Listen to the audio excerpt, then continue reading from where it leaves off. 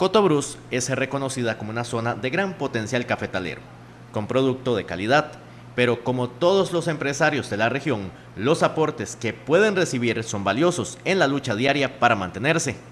Es por eso que cualquier apoyo de instituciones, como es la promotora de comercio exterior, son vistos como fundamentales. Estas iniciativas son muy sumamente importantes para la zona, en efecto zonas como Cotobruz, del lugar donde nosotros provenimos, es importante llevar este tipo de fondos, son capitales semillas, capitales que son eh, financiados a un 100%, a un 80%, a un 100%, el cual nos va a dar movilidad y posibilidad de, por ejemplo, poder extender nuestra operación en lo que es la zona, en lo que es el país y en la parte de exportación también.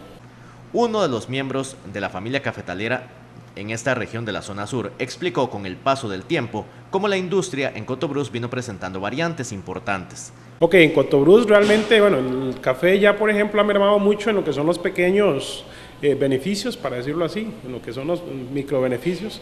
Hay otras compañías que son bastante grandes, no hay tanto café como, como solía existir, ¿verdad?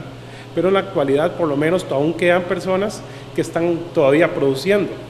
Lo que es importante entender ahorita es que tal vez ya no hay, eh, ya, ya, o sea, ahora hay una, una transabilidad del producto, ahora se sabe dónde viene, quién lo tiene, hacia dónde lo están llevando.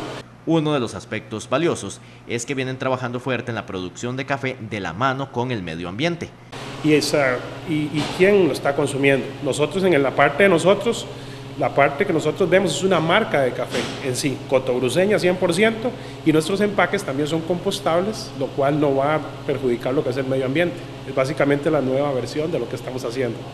En Cotobruz continúan trabajando muy fuerte para mantenerse como una zona de buen café en nuestro país.